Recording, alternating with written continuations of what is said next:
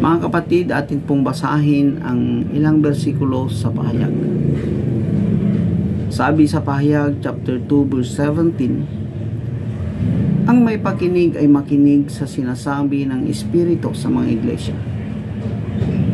Ang magtagumpay ay bibigyan ko ng manang natatago.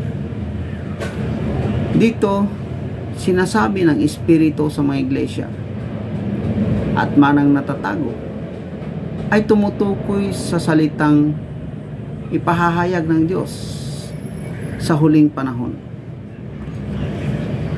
At ang pahayag chapter 5 verse 1 hanggang 5. At nakita ko sa kanang kamay niyang nakaupo sa luklukan ang isang aklat na may sulat sa loob at sa labas na tinatakang mahigpit ng pitong tatak at nakakita ako ng isang ang malakas na anghel na nagtatanyag ng malakas na tinig. Sinong karapat dapat magbukas ng aklat at magtanggal ng mga tatak nito? Ang sino man sa langit o sa ibabaw man ng lupa o sa ilalim man ng lupa ay hindi makapagbukas ng aklat o makatingin man. At ako'y umiyak na mainam. Sapagkat hindi nakasumpong ng sinumang marapat magbukas ng aklat. O makatingin man.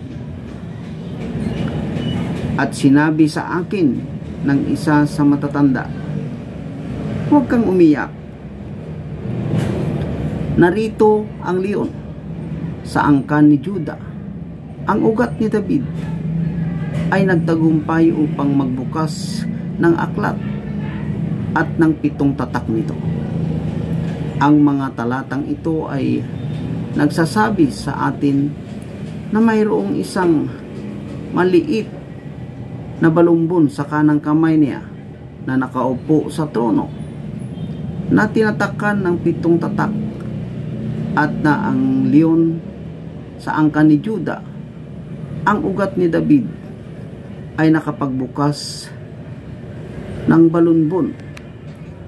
Mula dito, malalaman natin na darating ang Diyos sa huling panahon upang buksan ang balunbon. Kaya ang nilalaman ng balunbon na ibubunyag ng Diyos sa huling panahon ay tiyak na hindi nakasulat sa pahayag. Amen.